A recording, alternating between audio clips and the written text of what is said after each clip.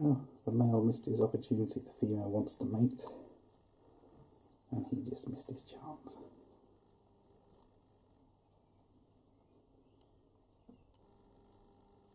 There we go.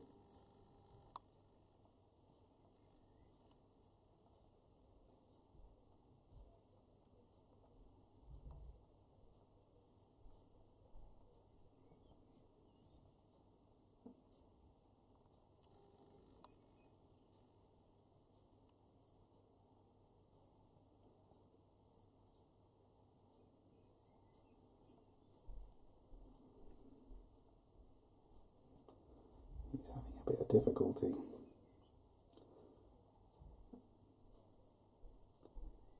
Look, he's singing, you stupid male. Get on with it.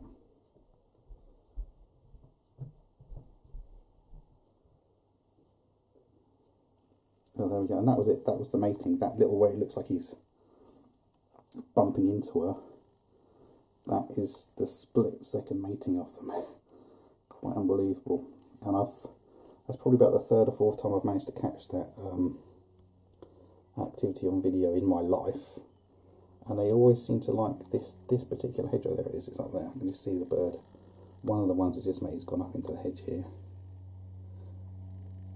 But yeah, that's about the third or fourth time in my life they've used this particular stretch of my garden to mate. They like, don't know why. Maybe it's the same pair for doing this for a few years, but um,